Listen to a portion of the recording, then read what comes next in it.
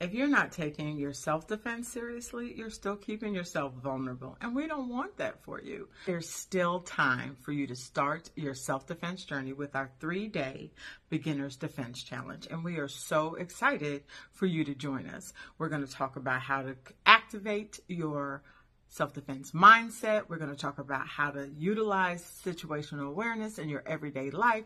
We're going to help you pick the best self defense weapon to keep you safe and protected.